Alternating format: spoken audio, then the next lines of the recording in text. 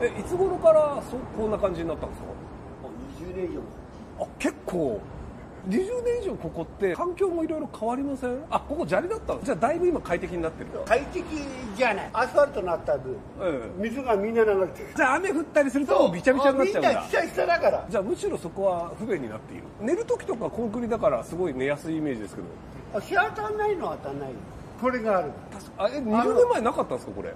あ前からある。夏場結構大変じゃないですかこそうでもないよね。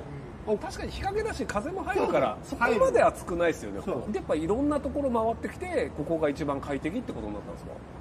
いろんなとこは回ってない。あ家って皆さんご自身で作るんですか？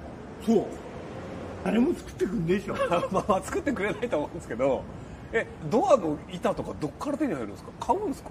買うんですよ。あ買うの？ペットボトルはあれはなんでついてるんですか？重しバサバサ言わあないよあそっかそっか。あ風でうるさいし。それで紐つけて飛ばないようにして。そういうノウハウってそうみんな知ってるもんなんですか？だから自分で考えここの白い枠っていうのはこれはあ一人。あ木村いたの昔はなかった。最近になってこの白い枠の中になんかうん一人一人の家みたいな、はいどうするとこの枠僕のものってなるんですか？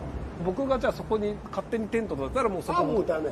あダメなんですいなくなったところ消してあるいなくなると消されるんだ。新しい人はダメ。昔からいた人だけ。あいた人はその白い枠で権利がもらえる。新しい人がここに来ると追い出されるんですか？そう。あ昔からいる人がその白い枠で住めるっていう。詰めた。へえ面白。い